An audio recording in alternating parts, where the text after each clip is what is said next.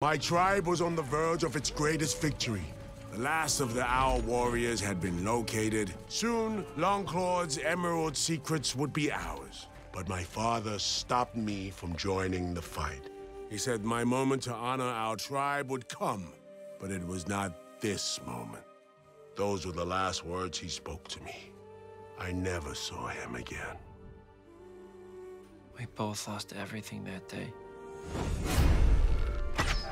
Goodbye, Sonic. No!